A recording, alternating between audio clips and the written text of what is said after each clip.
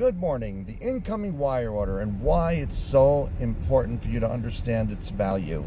Let's face it, there's very little business that you can get today that isn't going to require you to jump through a lot of hoops and spend a lot of money. Think about the value of a wire order. Number one, it's guaranteed. Whatever amount is given to you is guaranteed to be paid to you. There's no chargebacks. There are no um, disputes later, and if there is, it's between florist to florist, and in many cases, the wire services are really great about resolving them. Remember, they're the judge and jury. It's, it's really an excellent experience. When you have a problem, it's nice to know that they are on your side. Both sides. Number two, you have a paid advertisement going into somebody's home or office. You have your product sitting in the eye of the public that people are walking by and looking at it the question becomes is everyone aware that it came from your store? Tag your arrangements more than what's on the cardette.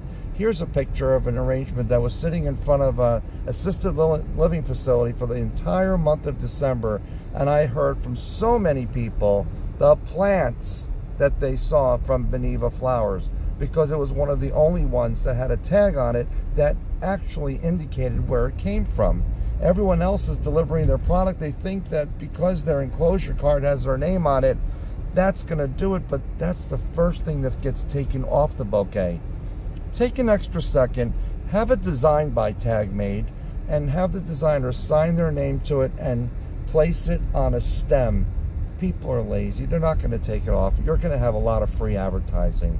Number three, I understand the order's discounted, but it's paid for your expenses are covered and you have an opportunity of making a new customer. If you go after the recipient, you're going to find some success. Not as much as if it was the sender, I understand. But then again, the level of effort is basically zero. You joined a wire service and you got orders. Now turn those people into customers. The options are yours. You too can go after the senders. Those are very expensive orders to acquire. Or you can make the most out of filling and market your business. Make sure everyone knows where those flowers are coming from and watch what it can do for your business. Valentine's Day is coming up.